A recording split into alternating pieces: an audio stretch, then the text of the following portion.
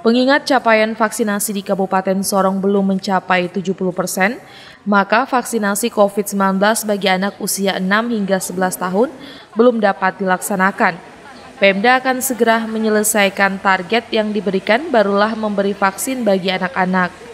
Hingga saat ini pemerintah daerah masih mempercepat vaksinasi untuk kalangan lansia, pelayan publik, remaja 12 tahun ke atas, dan masyarakat umum – yang capaian vaksinasinya belum mencapai 70 persen. Berbagai cara dilakukan seperti metode jemput bola dan kerjasama semua pihak, dalam hal ini TNI Polri, untuk mempercepat vaksinasi. Jika sudah mendekati angka 60 persen, maka vaksinasi anak bisa mulai dilaksanakan. Vaksinasi anak usia 6-11 tahun itu sudah ada keputusan Menteri Kesehatan terkait dengan pelaksanaan vaksinasi usia anak 6 sampai 11 tahun.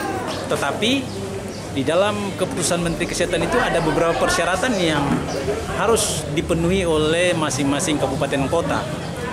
Salah satunya adalah vaksinasi anak usia 6 sampai 11 tahun bisa dilakukan apabila capaian vaksinasi dosis 1 sudah mencapai 70 persen dan secara khusus untuk vaksinasi lansia sudah mencapai 60 persen.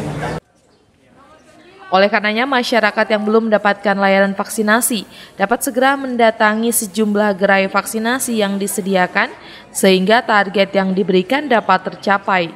Otoge Anto, Kompas TV Sorong, Papua Barat.